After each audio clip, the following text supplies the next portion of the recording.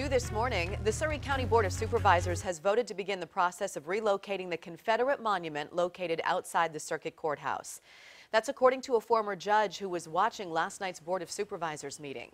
Leaders in Surry County must now wait 30 days to see if a museum or historical group wants the monument before they decide where it will ultimately go.